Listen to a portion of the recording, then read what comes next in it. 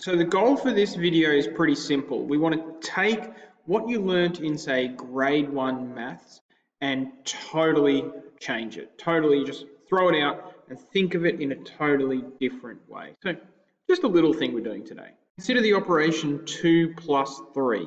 How might you explain that to a six-year-old? Pause it and think about how you would explain it. If you're like most people, you might have said something like, I've got two apples and somebody gives me three apples and now I have five apples. And that's a great way to think about it, but we're not going to think about it like that. Consider two times three. How might you explain that to a five-year-old? Pause it, think about it for a second. What you might do is say something like, I've got two rows of three apples. Therefore, I've got six apples. So we have these two nice, neat little ways to think about mathematical operations, but we do not want to think about mathematical operations like that anymore. Now, if you looked at the title of the video, you might have already guessed that the new way that we're going to think about these operations is as transformations. Let's take a look at transformation. So here we are at a classic number line. We've got the origin 0 here, the numbers 1, 2, 3, 4, 5, negative 1, negative 2, etc. And we have our starting number, the number 2. Now you'll remember that our first question was 2 plus 3, 2 apples plus 3 apples.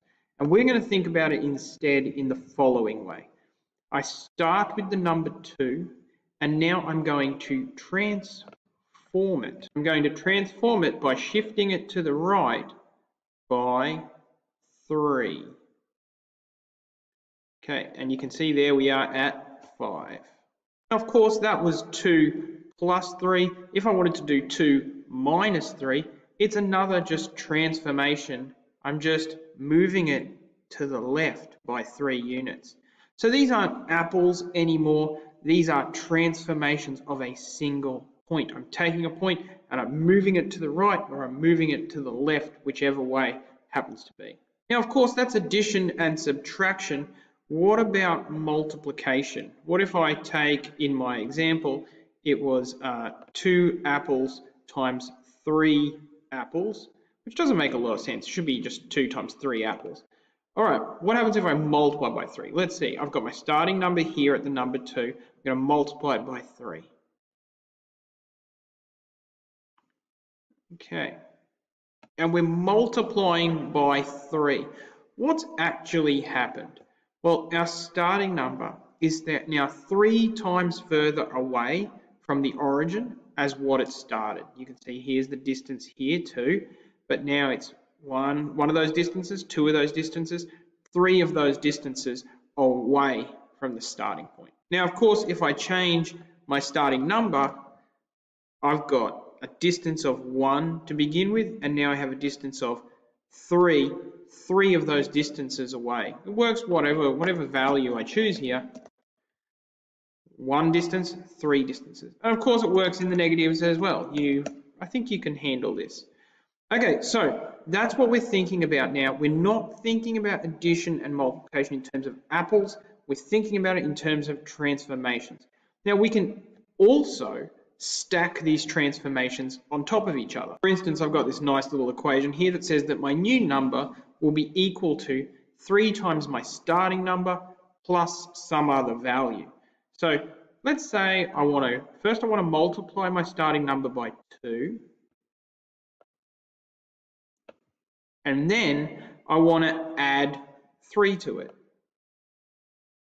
What I'm doing here is stacking transformations. I'm multiplying and then I'm adding. Now I can do those in any order as long as I follow my brackets rules and things like that. I performed two operations there. I performed multiply by 2 and I've performed add 3. And I've performed it on a particular number, the number 2. But now I'm going to perform those operations on the whole number line, or at least all of the integers. Okay, so here are all of my integer values, 1, 2, 3, 4, negative 1, negative 2, etc., etc.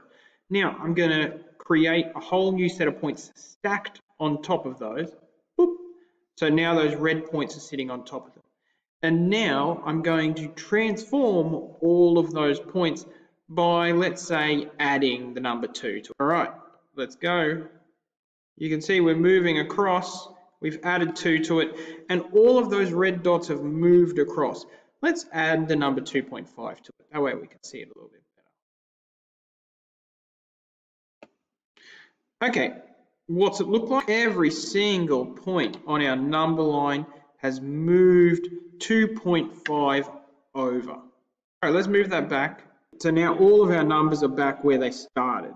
Now what happens if I multiply by 2? Well, let's multiply by 2. Well, let's multiply by 1.8. Okay, what's happened here? There's an axis of uh, symmetry around here, and then the 1 moved over to 1.8, and the 2 moved to 3.6. And similarly, on the negative side, the negative 1 became negative 1.8, and this one moved all the way over to there to negative 3.6. What we're getting is a stretching, and you can see this, these red dots stretch away, stretch away from the origin as I do that. And you can see them squash into the origin as we move towards zero, which squashes them all into the origin.